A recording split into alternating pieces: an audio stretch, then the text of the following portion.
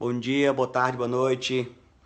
Meu amigo Adão Albuquerque, eu vim aqui pedir desculpa, tá? Eu mesmo vim pedir desculpa. Eu não conheço você, eu não tenho como conhecer cada personalidade, cada pessoa importante de cada cidade, tá? Mas eu também não subi no palco, eu também não tirei você, eu também não dei ordem para tirar você de palco, tá? Eu tenho uma produção e a produção faz o que ela acha que é melhor e às vezes acontece que a pessoa erra mesmo, as pessoas erram e é isso que acontece.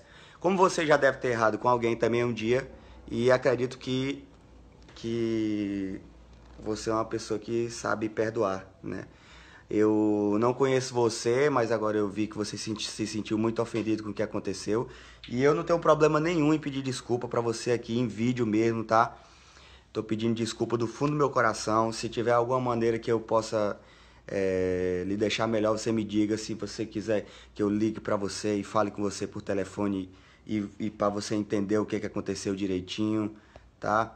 Porque eu não, eu não faço isso com ninguém, eu não subo em palco, eu não tiro ninguém, eu não mando tirar ninguém. É, a gente já vinha de uns atrasos em show, porque como o público tá grande, a gente teve atraso em show em Londrina de uma hora, a gente teve atraso em show em Maringá de não sei quantos minutos. Então eu acho que a produção achou que você tava comendo tempo ali em cima. Ele também pode não saber quem é, poder, podiam não saber quem é e tal.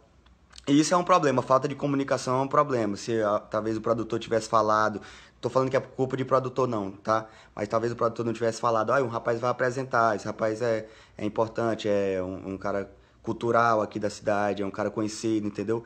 Foi somente uma falta de comunicação. E eu peço desculpa aí a você e a todo mundo que tá me xingando aqui nos comentários, achando que eu, que eu fui que eu fui bruto com você, tá?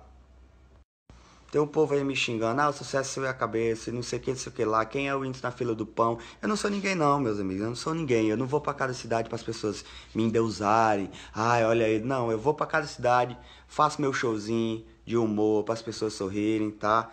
E eu ouvi que você fez o vídeo até um pouco assim, meio, meio irado, assim, meio com raiva. Com razão, porque quando eu também sou, me acho que eu, que eu senti é, humilhado, eu me senti maltratado, eu também fico com raiva, eu também vou para cima. Isso é o normal do ser humano. E Adão, é, até irmão briga, cara. A gente briga até com a mãe da gente às vezes. Por que, que não vai brigar com um estranho? Por que, que não vai ficar com raiva de um, de um cara como você não me conhece? Acredito que se você me conhecesse um pouco, você. Você. Você ia entender que não é isso, que a minha vida é, é uma correria e que às vezes os imprevistos acontecem e acontece esse tipo de coisa. Mas eu peço mil desculpas aqui para você tá? Se eu tivesse, se eu soubesse disso ontem, eu tinha procurado ligar para você, tinha ido até na sua casa pedir pelo amor de Deus desculpa, porque eu não importo se você não gosta do meu trabalho, se você não, não é o tipo de humor que você gosta, não importa, não importa que aconteceu uma injustiça, né? Com você, você tava no palco, o pessoal entrou, tirou você, e aí você ficou ali do meu lado, eu apertei sua mão, você eu acho que você tava até com a cara de sem entender nada, eu também sem entender nada, porque eu não sabia quem era você e o que você tava fazendo ali. E aí peguei o microfone, depois nem aquele microfone que você estava usando era o que eu ia usar, ainda me deram o outro ainda, para você ver como é que é as coisas. E aí eu fiz o show e nem fiquei sabendo disso. Então eu peço mil desculpas, mil desculpas para você. Qualquer coisa que você não tenha entendido, ah, mas por que foi, você pode me perguntar. Eu, eu sei que você, você é uma pessoa conhecida em, em Vitória, você talvez não se importe com a minha resposta, talvez não queira saber, mas eu fico com, eu fico mais feliz e fico menos menos triste, com meu coração menos triste de saber que tem alguém que não gosta de mim em algum lugar, tá?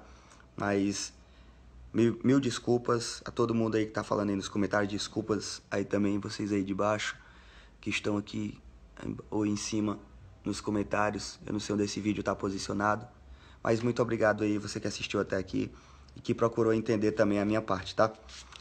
Tamo junto, é nós e qualquer coisa estamos aqui. Beijão. Valeu, Adão.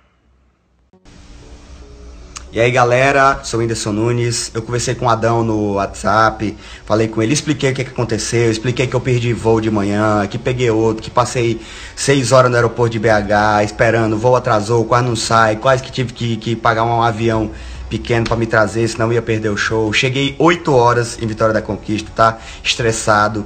Adão também me contou que ontem foi um dia muito estressante para ele, porque ele foi numa cidade, aí falou um negócio que gerou um mal entendido, aí teve que se explicar para as pessoas, teve que falar um monte de coisa também. E aí chegou na hora do show, acabou que tudo isso acumulou E eu que já tava vindo de uns atrasos no show de Londrina e de Maringá, porque tinha quebrado a máquina também porque o público tava muito grande.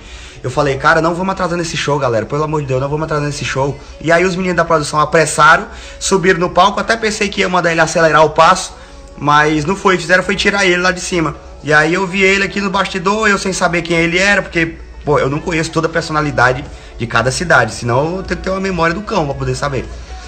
E aí acabou que a gente se cumprimentou ali rapidamente, eu fiquei sem entender e ele se chateou, né? Com, com razão, né? Porque eu também, quando eu sou. Quando eu me sinto humilhado, quando eu me sinto maltratado pelas pessoas, eu fico com raiva também.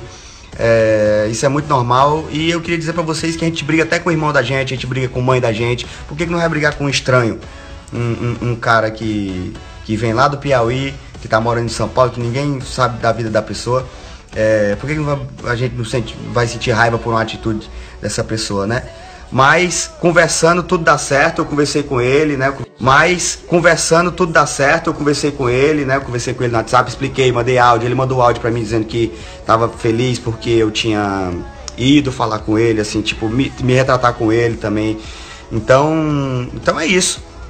É, tô feliz que porque eu fico, eu fico meio triste quando eu saio de algum lugar que eu fico sabendo que alguma que alguma pessoa não gosta de mim ou tá zangado comigo e tal.